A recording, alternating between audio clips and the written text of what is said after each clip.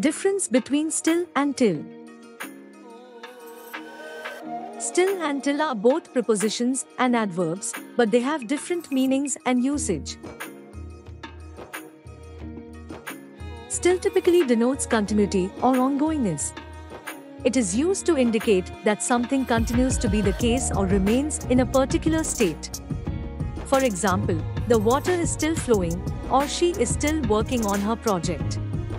It can also convey a sense of time, indicating that something is happening or has been the case up to a particular point.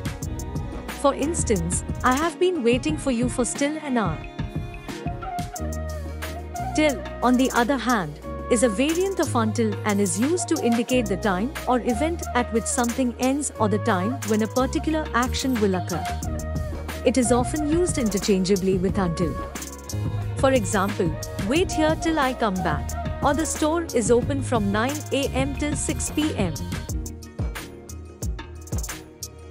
In summary, still conveys continuity or ongoingness, while till indicates the end point of an action or event.